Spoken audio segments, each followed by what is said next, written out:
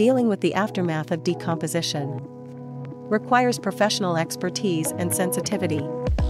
Our decomposition cleanup services in Hayward, California provide respectful and thorough cleanup. For situations where unattended deaths have occurred leading to advanced decomposition, This video explains the challenges and health risks associated with decomposition, emphasizing the need for specialized cleaning techniques to safely and effectively restore the environment.